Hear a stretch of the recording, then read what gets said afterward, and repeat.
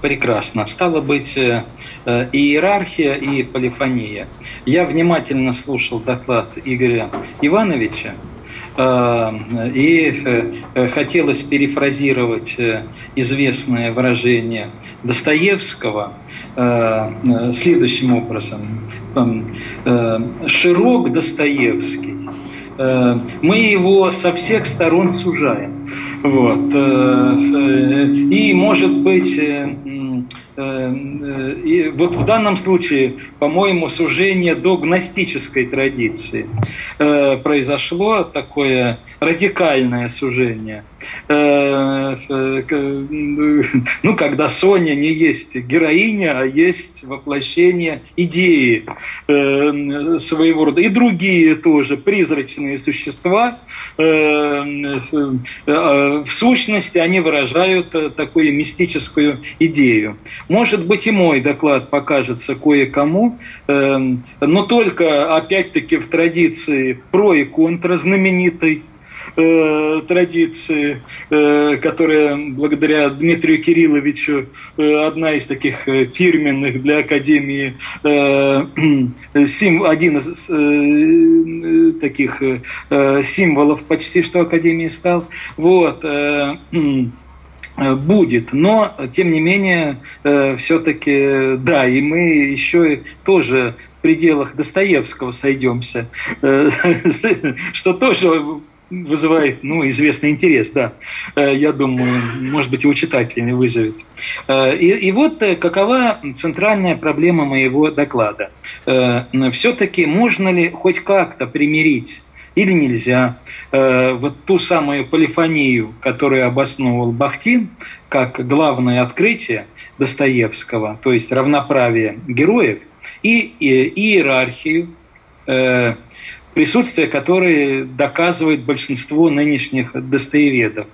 Э, ну вот, например, Малком Джонс, отдавая в своей книге «После Бахтина», Э, отдавая должное другой книге Нины Перлиной, э, как раз уроженки Санкт-Петербурга, но потом профессора Индианского университета, э, в этой книге как раз доказывается присутствие сакральной иерархии э, евангельской в мире Достоевского. Вот Джонс полагает, что вот эта иерархия в пользу э, авторитарного, пишет он, слова Евангелия и концепция полифонического романа самым очевидным образом противоречат друг другу. Э, и на этом стоят, конечно, большинство э, э, нынешних достоеведов 21 века. И вопрос кажется, ну вот, воистину неразрешим. Но мне все-таки сегодня хочется взглянуть на эту проблему с особенной точки зрения. Но надо спешить, потому что ремонт у меня идет уже э, третий месяц над головой. Если сейчас заработают отбойные молотки, э, то меня уже вряд ли будет слышно. Вот. Э, так что если это будет, прошу меня просто извинить. Так вот, некоторые знают, что ваш покорный слуга – автор книги о соборности в русской литературе, опубликованной, страшно сказать, 30 лет назад. А соборность – это еще и соборование со святыми. Э, и нужно заметить, что при общей для, э, все, для всех христоцентричности лики святых разные. Э, по-своему отражая эту христоцентричность, иконостас многоцветен. Собор святых многоразлично выражает грани божественного промысла, который никоим образом не может вместиться в единичное человеческое сознание. Э, вот глубоко различна и полифония э, голосов э, героев Достоевского. Разумеется, эта полифония не может быть вполне синонимична соборности. В отличие от собора святых в мире Достоевском, полифония голосов грешников – но весьма часто, я бы сказал, почти всегда в научной литературе о Достоевском, эта э, полифония понимается именно как столкновение в его э, художественном космосе различных идеологических установок героев, вот его героев-идеологов. Отсюда выражение идеологический роман Достоевского и так далее. Вот. Например, даже пытаясь показать человеческое лицо в старшем Карамазове, Федоре Павловиче Карамазове, Лев Платонович Корсавин представляет его все-таки лишь как идеолога любви. Идеолог любви. Вот чем интересен для Корсавина э, старший Карамазов. Э, ну, а мерцание православной соборности в полифонии Достоевского, как я тоже э, десятилетиями пытаюсь доказать, выражается не в равной значимости позиций, для романного целого, э, идеологических установок, скажем, Смердякова и старца Засимы. Понятно, что такая постановка вопроса нелепа. Э, но в том, что в обоих случаях само изображаемое автором человеческое лицо, сама личность, за которым лик Божий, э, иерархически, как представляется, значимей той э, идеологической позиции, в том числе иерархически выстроенной идеологической позиции, которую это лицо как будто выражает или вот э, эмблематически персонифицирует. Ну, как вот было в предыдущем докладе показано. Очень интересно, э, признаю. Э, так, преступление и наказание, вопреки утверждению повествователя, которого нельзя путать с автором романа, за чтением вечной книги сошлись не только убийца и блудница, э, как, какими они могут показаться в законническом кругозоре, когда грешники репрезентируют грехи, но сошлись именно Родя и Соня, у которых есть всегда надежда на воскресение, пока они живы. И поэтому последние слова Мармеладова обращены не к блуднице, не к лицу, которое выражает или там, репрезентирует блудницу, а к, э, э, персоне. Э, Соня, дочь, прости. Определение же персонажей как убийцы и блудницы – это попытка овеществления героев, э, э, поскольку в авторском замысле они все-таки э, могут и преодолевают грехи убийства и блуда, став вполне родей Родионом Романовичем в эпилоге и Соней. Но сделать они это могут э, в мире Достоевского не индивидуальным усилием, а в рамках соборного задания, увидев лицо, лик Божий, в другом, отделив как свой, так и чужой лик от греха, убийства или блуда. Эм, и вот э, ставшее расхожим э, популярным достоеведение выражение Дмитрия, Дмитрия э, Карамазова, который я так перефразировал в начале доклада, «широк человек, слишком даже широк, я бы сузил», может быть совершенно по-разному понято в разных контекстах. Вот совмещающие законнической позиции, разъясняющая иллюстрация Дмитрия о совмещении в сердце каждого идеала Мадонны идеала Содомского может быть интерпретирована как идеологическая установка но она, как мне кажется, может быть преодолена. И в мире Достоевского присутствует это преодоление, не противостоящее ей другой установкой, скажем, Алёши, да? э, э, не замещаясь ею э, э, как бы рационально, идеологически, а поступком э, на пути отсечения вот этих безличных идеологических начал и видение вот отцвета этого идеала Мадонны в другом лице. А, а внешняющая личность идея, любая идея, та или иная, это и есть порабощение э, грехом. Именно в этом смысле Христос, как абсолютная личность, отделяется Достоевским от безличной истины в известном выражении если нужно было выбирать между Христом и истиной. Много есть казуистов, которые здесь находят э, противоречие, мол, Христос это и есть истина, так сказать, что же там такое пишет Достоевский. А на самом деле э, по Достоевскому безличная истина – это и есть ложь. Это и есть законническая ложь, субботничество своего рода. Поэтому соборное общение неслиянных душ в романном мире – Возможно, не как это в западном достоеведении э, полагают, полифоническое соотнесение их там релятивных идеологий, но как э, персонифицированная встреча незаместимых лиц. Вот это важнее всякой идеологии и всякого, так сказать, э, всякой иерархии. Поэтому соборная полифония – это не сражение идеологов, в сущности столкновение идей, то есть концепций, разных правд, истин, но встреча людей, хотя и поэтической реальности.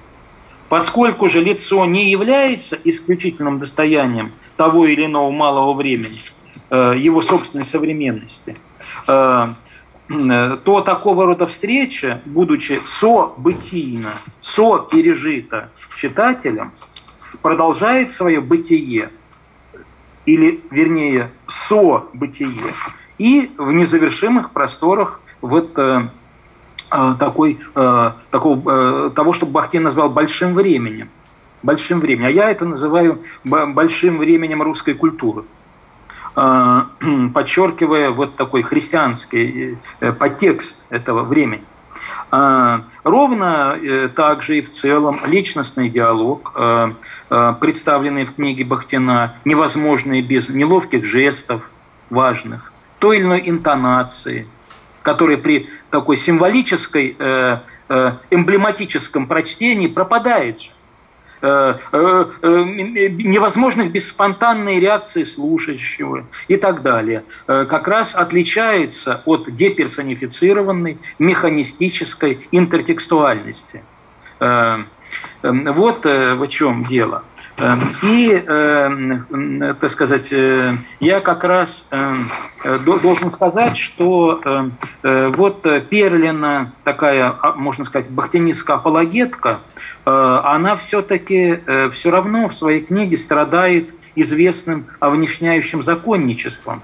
Э, законничеством, поскольку для нее все-таки важны цитаты, для нее важна, так сказать, э, э, ну, условно, условно, так сказать, вот такие овнешняющие факторы, а не вот это лицо, о котором я сейчас говорю, любое лицо. А, а, а у Достоевского на читательское сознание оказывает особое воздействие не столько буква, вот тех истин вечных, э, на, так сказать, э, каталогизации которой сосредоточилась, э, ну, такая блестящая исследовательница Нина Перлина, скончавшаяся, вот, к сожалению. Эти буквы истин и без того известны читателю эпохи Достоевского, сколько дух. И вот помните, все тут помнят, что православие показуется, а не доказуется – Поэтому риторические фигуры речи, как в евангельском чтении Сони, э, так и в монологах Мармеладова, они вне отрыве от этих персонажей. Их исследовать, мне кажется, бессмысленно. Э, они только присутствуют как часть образа этих падших персонажей. А, и вот, э, э, вот во второй части доклада, уже приближаясь к финалу, я скажу, что э, в сущности перед нами Достоевский ну, ставит такую задачу, тест своего рода, радикальное испытание для нас. Я сейчас на одном примере это покажу. А, в том-то и дело, что для читателя радикальное Проблема состоит в том, чтобы э, найти в себе самом душевные усилия, чтобы пожалеть и простить таких грешников, как, например, Мармеладов или Смердяков. Именно их. Э, э, и Достоевский как бы принуждает нас к этому. Почему многие не любят и ненавидят Достоевского? Вот именно за это – именно за это. Э, легко увлечься э, теориями Раскольникова, теориями Ивана Карамазова. Кто же у нас на Руси теперь Наполеоном себя не считает, да, как известно. Это очень такая заманчивая перспектива. Но крайне тяжело полюбить вот этих грешников, таких, как Мармеладов. И вот это вот, что нам крайне тяжело, говорит о том, насколько мы сами удалились от той самой политической э, следуя политической экономии от евангельского духа любви к ближнему. Я, конечно, процитировал вот начало преступления наказания, слова Мармеладова. А ведь э, э, раз уж э, Игорь Иванович обратился к этому образу, я уж на, на нем тогда покажу наше отличие, что этот персонаж именно, он ведь буквально в начале романа распинает сам себя, а не мучит свое несчастное только семейство. И слова о распятии, о должном наказании, соседствуют с жалостью, любовью и прощением. Распяв, пожалей – как бы, он как бы напяливает на себя маску шута, э, чтобы мы не узнали, что перед нами э, наследование традиции юродства. юродства. Он как бы нас провоцирует, что мы ударили его, хотя бы мысленно, значит, отвернулись от него, значит, насмеялись над ним, провоцирует для того, чтобы мы это сделав, ударив и э, э, обвинив, поняли, насколько мы все-таки удалились от э, вот этого завета любви от завета любви. Э, значит, э, и тогда как прогрессист Лебезятников, который за новыми мыслями следит, представляет другой, противоположный, максимально удаленный вот от этого христианского отношения э, полюс. Сострадание в наше время даже наукой запрещено, говорит он. Э, да, ну, мармеладов, да, и так уже делается в Англии, где политическая экономия, э, экономия. Значит, э, и что это за, за такая английская логика? У Карамзина можем прочитать это, у западника Карамзина. Западника Карамзина читаем записки русского путешественника, а английскую логику. Вышло у них правило, у них, то есть у англичан, пишет Карамзин. Кто у нас беден, тот недостоин лучшей доли. Правило ужасное, пишет западник Карамзин. Здесь бедность делается пороком.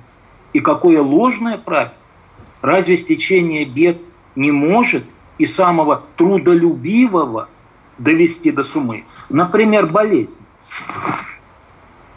И вот э, в распивочной, а далее в номерах в начале преступления наказания, мы видим обратное состраданию к другим отношение к грешнику. А что? Ругательство и смех.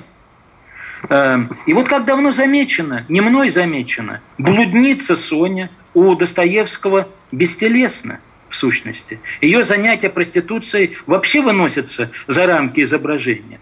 Читателю демонстрирует только ее одежда, одежда, вызывающая пороговой ситуации, на границе жизни и смерти. Э, и говорится, что настоящий разврат а, еще не проник ни одной капли в ее сердце. Ее спасительная для других роль не в том состоит, в чем вот э, Игорь Иванович сказал, что вот она деньги, деньги, значит, помогает семье деятельно.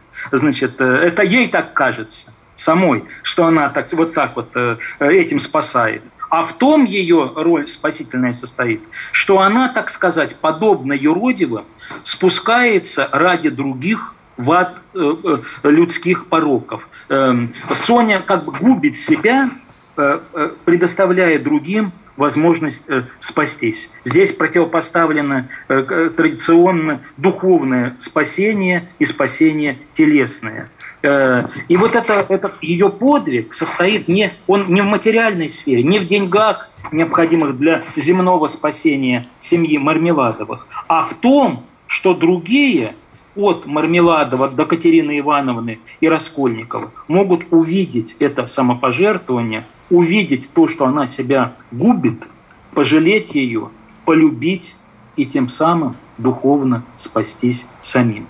И вот это демонстрация своего рода предельного греховного непотребства, которое Достоевский целомудренно прикрывает по отношению к Соне, э, осуществляется выстраиванием образа Мармеладова. Он, в отличие от Сони, с первого своего появления в сочных деталях рассказывает не только Раскольникову, но и глумящейся над ним черни в закусочной, только что не оплевывающей его, о своем позоре. Э, в одном случае грех блуд автора мне показывается в другом э, не э, только неприглядные поступки, но и словесный блуд. Демонстрируется. Иными словами, Достоевский так выстраивает текст, что Мармеладов как бы грешит на глазах зрителей. Именно поэтому его особенно трудно простить нам. Э, чего, и сделать то, что он требует от посетителей распивочной. Автор романа от э, читателей. Пожалеть его. Пожалеть Христа ради. Но подобная радикальность вообще присуща юродству как таковому. Значит, э, э, мы знаем питерских исследователей, там «Смех в Древней Руси», книгу написавших, которые э, хорошие книгу они написали, но суть, смысл феномена юродства там по известным причинам не был раскрыт. Но мы должны рыдать над ними, как зарыдав, понять свою падшесть. Вот что главное. А не социальный смысл имеет это юродство только лишь. И вот э, в итоге читатель может только риторически позволить себя убедить в блуде Сони. Еще раз, он не изображается, потому несколько призрачен. Но греховность Мармеладова, в том числе его греховная велеречивость, как замещение, демонстрируется. Она вполне реальна. Э, он воспринимается э, этими э, посетителями распивочной как шут, забавник. Но мы должны знать, что плач уместнее смеха в православной традиции. И уже заканчивая, скажу, что вот этим созданием этого образа Достоевский апеллирует к сверхзаконному Божьему прощению. Не для всех, эм, значит, не для себя, а для других. Вот эти слова «всех рассудит и против и добрых, и злых, и прямых, и смирных» говорит именно о любви всеобъемлющей, мне представляется, а не о гностической традиции. И вот эта торжественная лексика, э, которая заканчивает тираду Мармеладова «Господи, да приидет царствие Твое». Что здесь гностического? Нет – даже и на глумящуюся над оратором э, э, публику оказывает воздействие, хотя и очень кратковременное. Слова его произвели некоторое впечатление. На минуту воцарилось молчание. И вот совсем финал уже у меня. Читатель при этом точно так же, как в эпизоде со чтением Сони Евангелия, как бы становится в ряд других, а потому свободен выбрать для себя тот или иной вот вектор рецепции э, э, тот или иной вектор рецепции. Значит, э, простить или обвинить. И вот наша проблема состоит в том, что именно в этом, не, в идеологии, не в, в безличной полифонии, чем, так сказать, грешил Бахтин, да, так сказать, а в лице другого увидеть э, вот этот лик э, любого, слабого, какого угодно, не смеяться, не глумиться над велеречивым таким мазохизмом Мармеладова, подобно, потому что если мы это делаем, мы становимся подобным вот этими посетителям распивочной, а нужно пожалеть его, Э, по словам персонажа, сначала распять на кресте, а потом пожалеть. И тем самым, может быть, мы увидим погибшего человека, мертвого душой человека, не только в Мармеладове, но и в себе самом. В себе самом мы увидим такого Мармеладова. А увидев, можем попытаться преодолеть свое овнешнение, свое бесчувствие, вот этот смех над завравшимся пьяненьким – в конце концов, слезы вместо смеха – это то, из чего начинается преодоление внешнее. Прозреть и в Мармеладове, а не только в Соне или, скажем, Настасье Филипповне, э, лик Божий, хотя и поврежденный. Хотя и поврежденный. Вот это как раз самое главное, что мне хотелось сказать. И таким образом вот это соборное общение неслиянных душ, возможно, не, не как полифоническое, или не только как полифоническое соотнесение их релятивных идеологий, не как диалог их идеологий, а как, я уже сказал, встреча и встреча людей. Э, это не сражение только лишь идеологов, скажем, западным достоеведам, как известно, крайне нравится Иван Карамазов, вопреки намерению Достоевского. Значит, и Малком Джобс указывает на это справедливо. Но мы, как читатели, не обязаны принимать, а тем более любить законнически абстрактную идеологию, даже если она будет подаваться как истина, столь же э, абстрактно-законническая, то есть лживая. Но мы можем попытаться полюбить метущегося грешника Мармеладова. Конечно, не как идеолога, а как страдающего человека. Спасибо за внимание.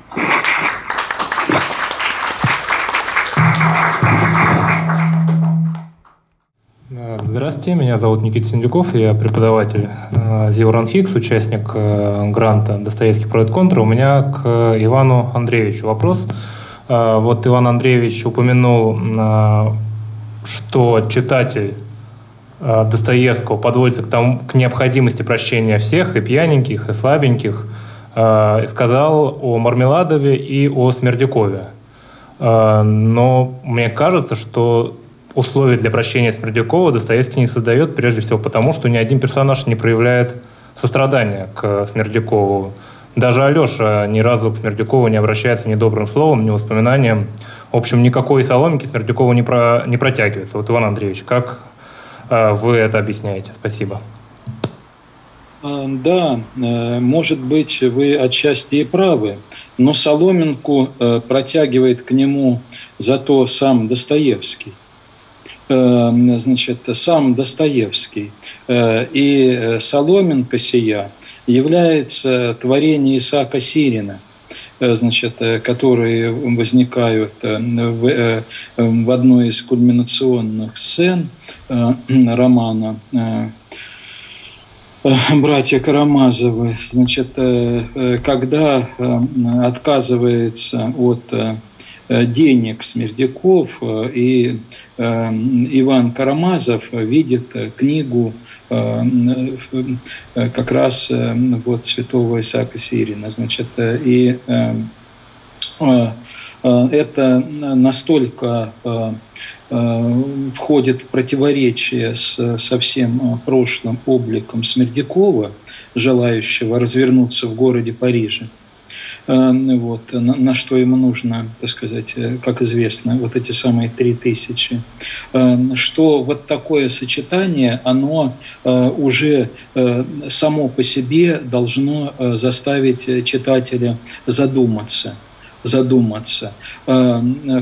И слова Смердякова вот в этом диалоге с, с Иваном, когда Иван глазами ищет черта, Э, значит, а Смердяков говорит, что вот э, третий между нами, кто, кто третий, говорит, Иван, для него третий это черт.